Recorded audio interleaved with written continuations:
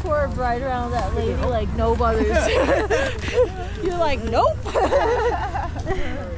that was awesome. I felt really confident then. What? I felt really confident then. Yeah, you looked it too. Hey, what are you thinking? I don't know whether to end it on a good one or go again. It's three o'clock. You have about an hour, an hour and a half. Okay, I'll try, yeah. T minus one maybe. Two minus one.